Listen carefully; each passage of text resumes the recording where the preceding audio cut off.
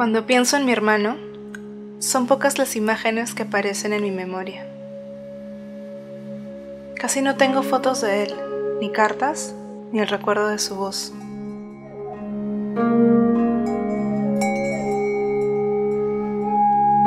Pero si hay una cosa, una sola, que nunca olvidaré, es el objeto que siempre cargaba con él, para bien o para mal, un recuerdo que yo le regalé.